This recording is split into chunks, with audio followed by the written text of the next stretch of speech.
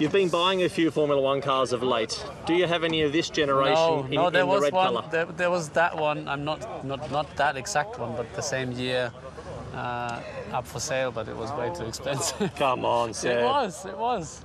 So, um, but yeah, that's the. ah, it's, a, it's an incredible car. You will hear it later. Well. I will. Today's race, 14th on the grid, tricky quali. What Well, give me that we car then, yeah. uh, Do you want to take that one? Yeah.